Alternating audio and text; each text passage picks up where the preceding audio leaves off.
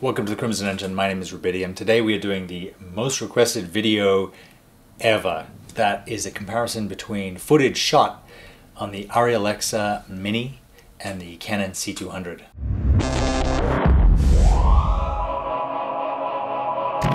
I shot this in conjunction with Armando at Mondo Bytes. We were able to get an Alexa Mini from magrents.com for the week, uh, which was really great. Armando has a, the companion video on his channel, um, so check the link in the description, go check that out. Talks a lot about how we tested, at what our setup was, talks about the kind of usability of both cameras. Um, I'm going to delve more into the technical side, the grading, and also the production side, the cost of these cameras and cost benefit analysis, if you like. Without further ado, let's dive in.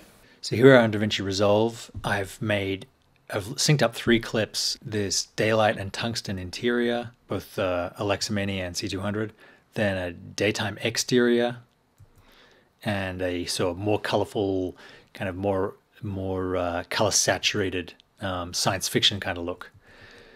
So what I'll do first is just go into my LUTs and add my log C to Rec 709 to my Arri Alexa. Then I can go across to my C200 and add the same thing. And you can see there's a little bit difference here. You might say, hey, the colors on the Alexa look way, way better. But what I'll do now is just grab this as a still. And now when I go across to my C200, I can turn on my um, wipe here and I can see the two of them together. Then what I'll do is I'll go into say 200% and I'll turn up my saturation on my C200. And you can see down here in the um, waveform, I can just start to match them a little bit more mechanically.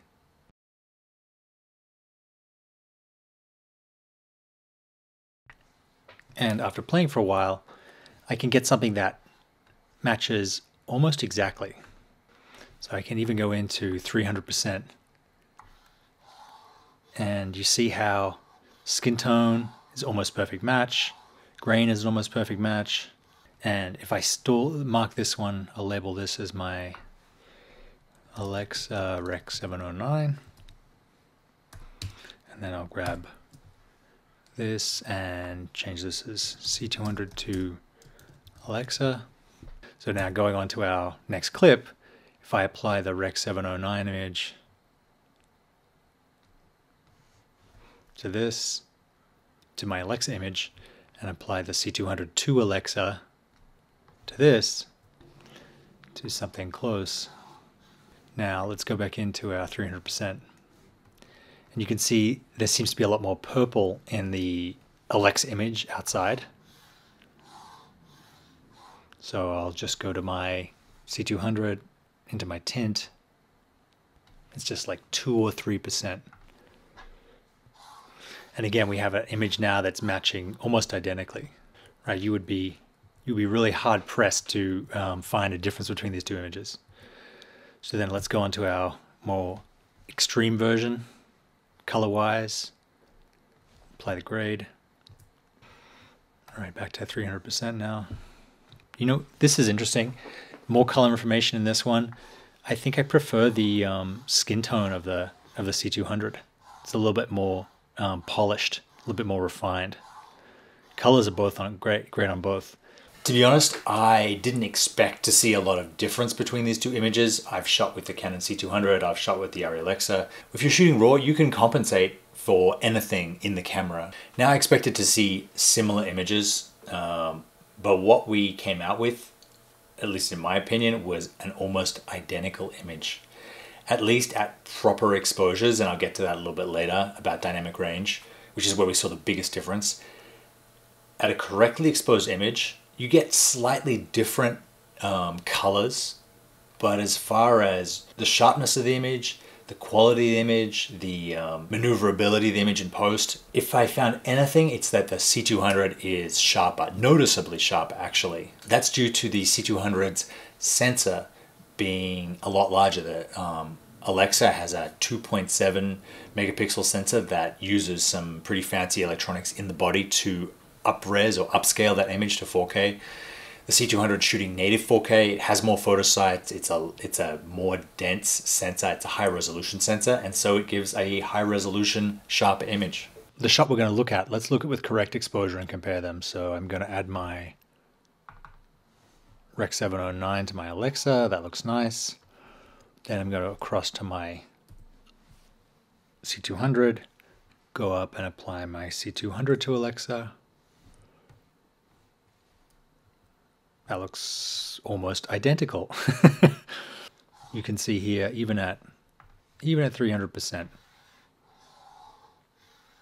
C200 is a little sharper, a little bit more detail in the skin um, because of the bigger sensor. But you know, color-wise, they're good. Take a look though at this highlight in her in Allison's blonde hair. It looks like the Alexa is holding just a little more information. It's still clipping. Well, it's actually not you see here on the waveform, neither of them are clipping hard, but both of them are sort of losing information in the highlight. So then if we go across to, so our next clip is same shot, but four stops over and C200 full stops over. And just look at the waveform. I can see here that the Alexa's clipping hard only in her hair, but the C200, oh my goodness, we're to have a problem. so again, we'll apply the default LUT and then I'll just use my offset to drag down our exposure into what's actually a pretty usable shot.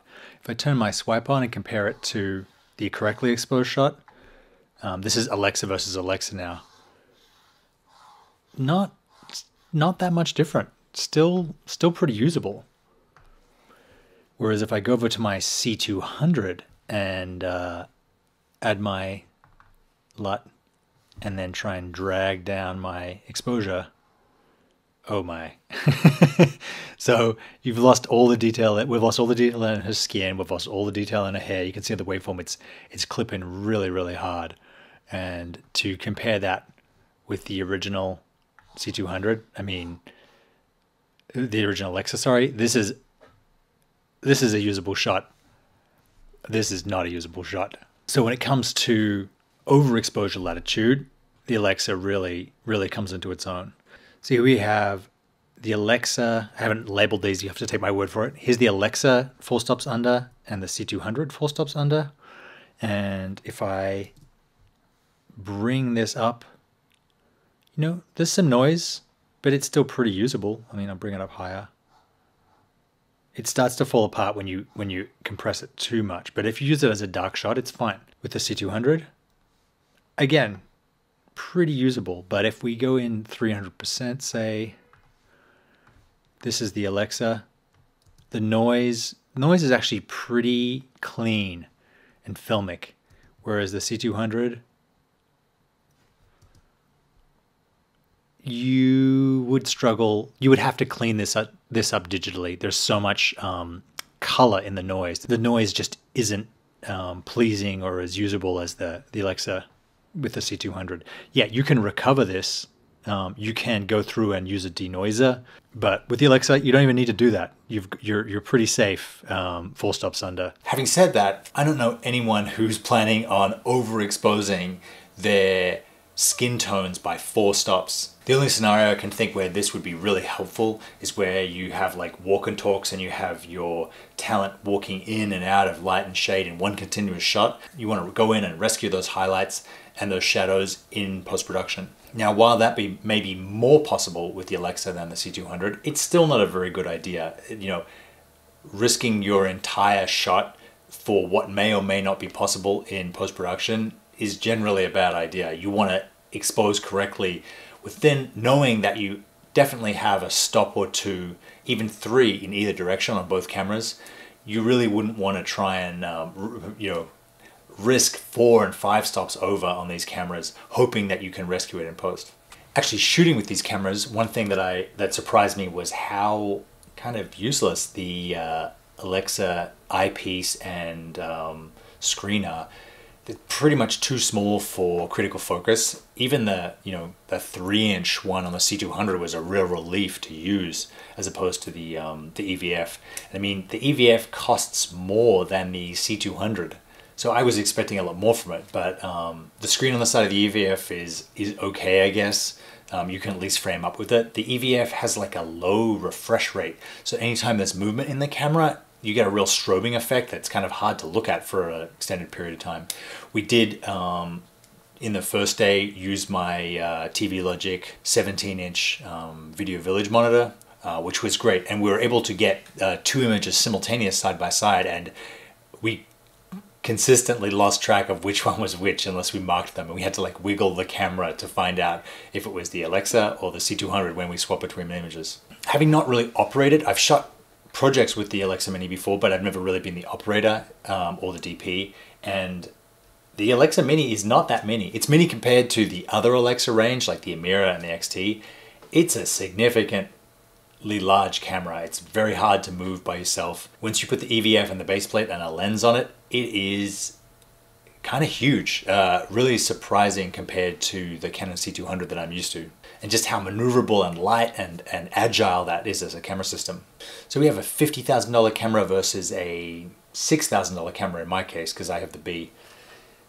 Here's what is hugely different. The Alexa Mini is manufactured to a much, much higher standard. The materials are better. We have carbon fiber. Um, all the connectors are better. It's a much more resilient, well-made, well-finished um, piece of equipment, noticeably so. I think this comes from Arri's background in um, 35mm film cameras versus Canon's background in DSLRs. The C200 does feel like a big DSLR. The C200, uh, the Alexa Mini does feel um, like a very expensive piece of hardware. The Mini has much better monitoring. Um, it has a more accurate waveform um, because the C200 shoots in C-Log 2 but doesn't monitor in C-Log 2, only in C-Log 3, so you have to kind of guess what your exposure is. Um, the Mini has false color, a much wider variety of tools um, to work as a cinema camera.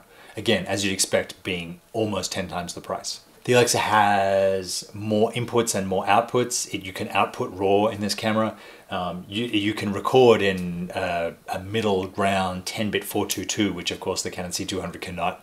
So you'd think, you know, really these are cameras that have two similar images, but the Mini has benefits for its being more expensive. Well, the C200 has a lot of benefits that the, the Alexa Mini doesn't. It has excellent dual pixel autofocus. It has um, face tracking autofocus. It has focus assist. When you use cinema CN-E primes, it'll tell you how in or out of focus you are, which is a game changer. It has RAW as default, not as a paid upgrade. Um, you can use cheaper um, non-SanDisk CFast cards in, in the C200, like the excellent um, pro-graded digital 512 cards, which you get an hour and something of RAW, 65 minutes of RAW for 600 bucks, as opposed to 12 or 1400 dollars for the SanDisk registered Alexa mini cards. The C200 has its own internal battery system. Um, sure, they don't last that long, but you can get a 60 watt hour extension battery um, so that you can just pick this camera up and go with it. You can't do that with this uh, Alexa Mini. It requires a V-mount, it requires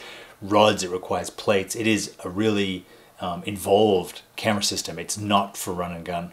C200 also has a touchscreen. You can get places, you can tap focus, you can set your camera up much, much quicker um, than you can on the Mini.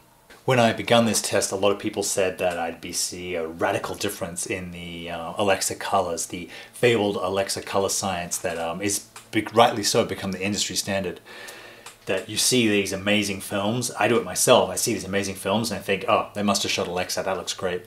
And usually they did. Uh, but what I think is at work here is less the color science of the camera and more the fact that if people have the money to shoot on an Alexa, they also have the money to get the very best lenses, the best talent, the best locations, the best lighting, the best post-production. So, you know, not that many people um, are shooting on a $6,000 camera and spending millions of dollars on color grading. I discovered a few little tricks like uh, pushing red back into the midtones, um, desaturating um, greens out of the darks, um, and a few other things. I've included them here in what I call the uh, Canon to ARRI lookup table um, that you can purchase in the description. For the reasonable sum of $20, you can make your C200 footage indistinguishable from ARRI Alexa footage. I found that there really is a lot of kind of emperor's new clothes uh, when it comes to the ARRI color science. A lot of people are convinced that they can see something that, you know, data-wise isn't really there. That's our look at the ARRI Alexa Mini compared to the Canon C200. Very excited to continue working with this footage, uh, maybe taking it to a professional colorist and seeing their ideas about um, the color, the latitude, the dynamic range. If I had to shoot a feature tomorrow and the DP was pushing the ARRI Alexa, I can now very confidently say that um, unless we intend to work in incredibly bright places, um, that the Canon C200 footage shooting in C-Log 2 RAW is as good, if not better, than the image that the Alexa Mini can provide. Thanks very much for watching, guys. I will see you next time.